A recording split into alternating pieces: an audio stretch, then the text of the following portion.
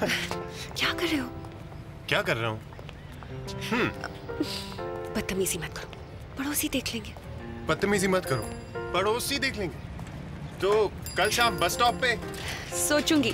कल फ़ोन करना। अरे। बंद करो ये पागलपन। बाबूजी देख लेंगे। बाबूजी देख लेंगे।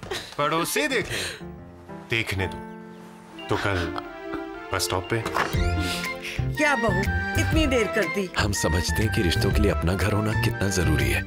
इसीलिए बैंक ऑफ़ इंडिया लाए हैं आसान home loans bank of India रिश्तों की जमा पूंजी।